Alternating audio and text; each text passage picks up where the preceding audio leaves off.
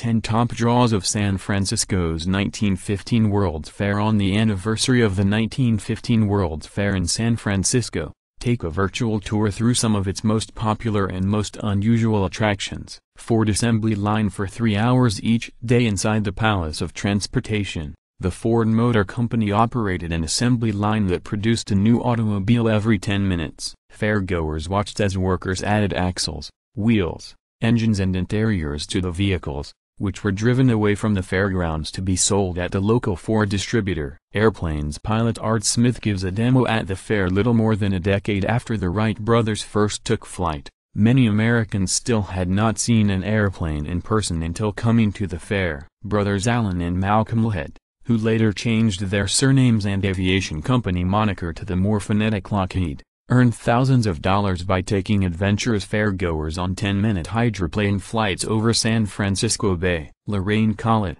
the original Oh Sun-Maid girl Kama rode in a plane in her signature white blouse and red sunbonnet each day and showered crowds with raisins. Stunt aeronaut Lincoln Beachey dazzled crowds performing loops and death spirals in his biplane until his experimental monoplane fatally crashed into San Francisco Bay in front of horrified spectators on March 14, 1915. Pilot Art Smith, hired to replace Beachey, continued the stunt shows and even performed nighttime flights with phosphorus flares attached to his plane's wings that left luminous trails in the darkness. Transcontinental Telephone calls a giant model of a telephone on display. Credit, Cardinal Vincent slash FPG slash Hulton Archives. Nearly 39 years after Alexander Graham Bell made his inaugural telephone call to Thomas Watson, the inventor made another historic call to his assistant this time separated not by a wall, but by more than 3,000 miles. Bell's transmission from his New York City office to Watson in San Francisco on January 25, 1915,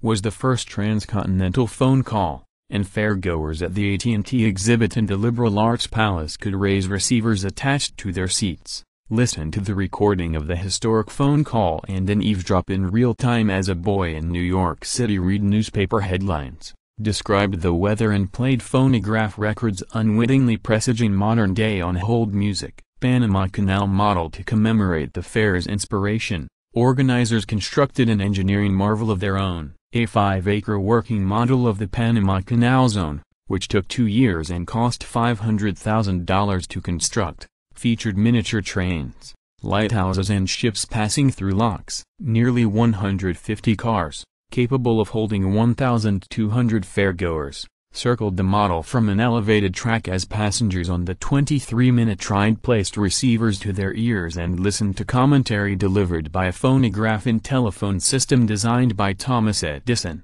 Visitors exited through a souvenir shop selling Panama Canal photographs and rocks from the Culebra cut with letters of authenticity from the project's chief engineer. Tower of Jewels souvenir card The 43-story stepped tower near the fair's entrance was the architectural centerpiece of the exposition and the tallest structure in San Francisco at the time. More than 100,000 pieces of polished crystal and colored glass affixed to hooks on the tower shimmered in Pacific breezes and glittered like diamonds, emeralds and rubies. The iridescent tower sparkled with a rainbow of colors when struck by the sun or electric lights and led to the fairgrounds being called the Jewel City. Dayton flood a strange draw in the city recently destroyed by a natural disaster itself. The exhibit featured a recreation of the historic deluge that had struck Dayton, Ohio, in March 1913 when the Great Miami River overflowed its banks. Fairgoers entered the attraction underneath a marquee featuring a colossal giant struggling to hold back water surging behind massive floodgates. As visitors listened to a narration about the flood,